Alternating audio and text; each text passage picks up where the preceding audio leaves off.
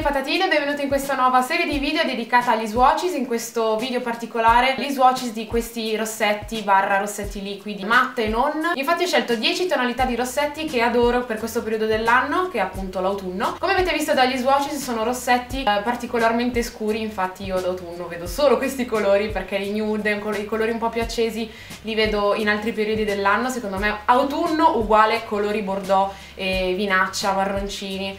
Non ho un colore marrone marrone perfetto, infatti spero di trovare il marrone perfetto e magari prossimamente ve lo farò vedere. E spero che gli swatches vi siano piaciuti, sono qui adesso per parlarvi in modo un po' più dettagliato dei rossetti, quindi singolarmente, per raccontarvi come mi trovo, eh, quali sono le particolarità di ogni rossetto che avete visto e quindi iniziamo. Diva Matte di MAC è un rossetto particolarmente scuro ma neanche troppo. Quando l'ho acquistato pensavo fosse il più scuro mai visto, purtroppo mi sono ricreduta perché avendo provato altre tonalità di altri rossetti di altri brand, questo qua ho notato che è un colore troppo rosso e neanche troppo scuro rispetto a quanto pensavo tempo fa. Rimane abbastanza lucido nonostante sia con un finish matte così scrivono rispetto agli altri rossetti che appunto vi ho mostrato negli swatches. Questo rimane un po' più lucido e eh, quindi più facile da stendere. È coprente fin da subito anche se due passate sono meglio. Ex Mega Matte di Urban Decay invece è un colore un po' più mattone. Per farvi un esempio quando andate a stendere in questa zona il rossetto è più difficile da stendere rispetto a eh, Diva di MAC perché tende a fare dei grumettini quindi magari Diva di MAC da solo eh, dal, dal, rossetto stesso riuscite ad applicarlo mentre già questo qua necessita del pennellino se volete essere perfette nel contorno labbra. Ha un finish appunto un po' più opaco rispetto a Diva di MAC per farvi un confronto. Il numero 34 matte della marca KTB ossia Kick the Beauty invece è un rossetto straordinario perché ricorda il packaging quello di MAC. Anche come colori infatti moltissimi colori di questa marca io ne ho parecchi di questo, di questo brand. Li ho swatchati in qualche video fa fa se mi ricordo vi metto il link nell'info box o comunque basta che andate nel canale e cercate KTB la consistenza però è diversa nonostante siano colori identici a quelli di MAC perché sono proprio dei dupe la consistenza è molto diversa perché questi qua sono un po' più pastosi ma allo stesso tempo burroso.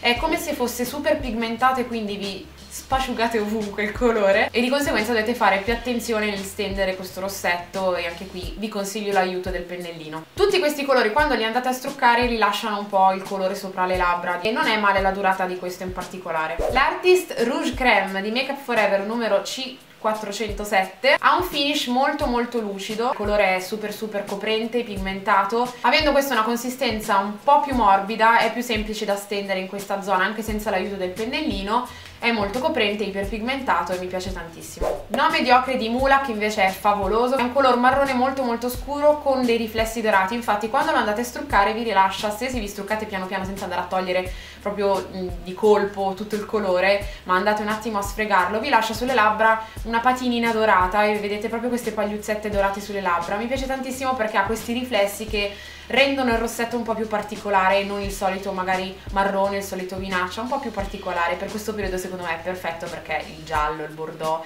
eh, il rosso insomma sono i colori autunnali, ci sta di brutto. Come quasi tutti i rossetti Mulak hanno una stesura abbastanza difficile perché sono molto pastosi, molto duri, però anche qui col pennellino riuscite a essere perfette. Io riesco a stenderli tutti quanti senza il pennellino e poi vabbè ovviamente se mi fai grumettini nel contorno labbra vado a sistemarlo col pennellino però non è male l'applicazione con questo e la durata è fantastica perché poi si mattifica dopo qualche secondo quindi si asciuga ancora di più ed è stupendo. Domina di Nabla invece l'ho rivalutato, ha un finish un po' più lucido rispetto a tutti gli altri, un po' simile al finish di Diva, di MAC. Infatti anche questo necessita di più passate. Il Full Throttle di NYX invece qua c'è da aprire una mega parentesi perché vi consiglio di provarli tutti. Se vi va vi faccio lo swatches di tutti questi qui. Fatemelo sapere con un pollice in su o con un commento insomma. Sono veramente fighi e meritano tantissimo questi qua quindi andateli a provare. Uh, sono particolarissimi perché? Per la composizione proprio del rossetto perché appena lo stendete è super burroso e molto pigmentato anche qui necessita un po' del pennellino. Ma una volta steso aspettando neanche, neanche un minuto meno di un minuto il rossetto si va come ad asciugare e a fissare sulle labbra labbra e quindi da lì non lo levate più.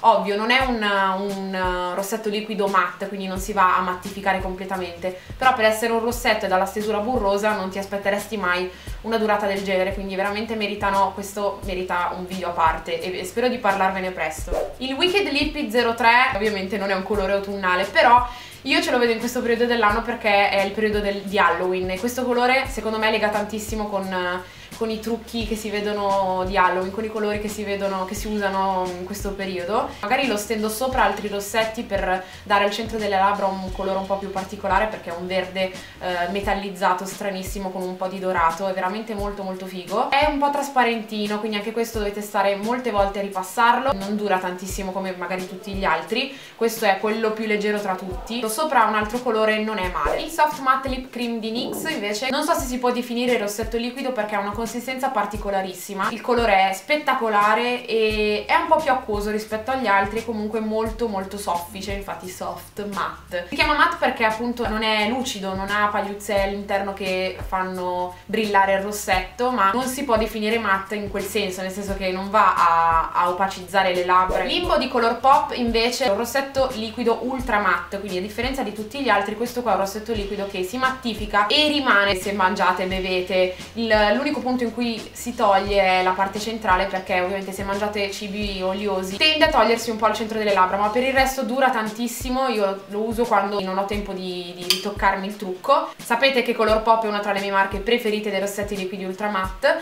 e quindi niente questo è top! Quindi questa era la mia top 10 di questi rossetti autunnali. Spero che questo video vi sia piaciuto se vi piace questa nuova tipologia di video fatemelo sapere perché sarà una serie di video che farò da qui in avanti. Io vi mando un grosso bacio ci vediamo al prossimo video.